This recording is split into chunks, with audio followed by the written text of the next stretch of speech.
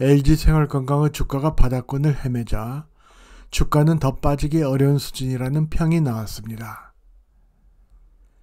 LG생활건강 주가는 반등했습니다. 화장품 전망에 대해서는 회의적인 시각도 있습니다.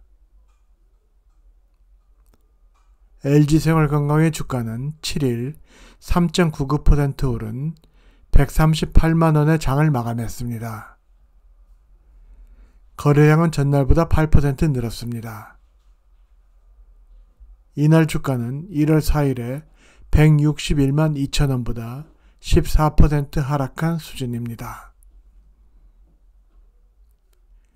DB금융투자는 LG생활건강이 안정적인 성장 매력에 비해 지나치게 하락했다는 의견을 내놨습니다.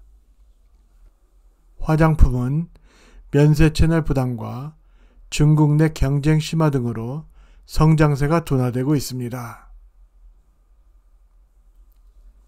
지난 한 달간 투자 주체별로는 개인은 4만 4천 주, 외국인은 1만 8천 주를 각각 사들였습니다.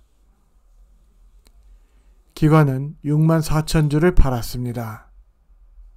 LG생활건강은 소액주주 비중이 49%에 이르고 있습니다. 글로벌 이코노믹은 스톡TV가 특허 출원한 BM 모델을 이용해 동영상을 제작하고 있습니다.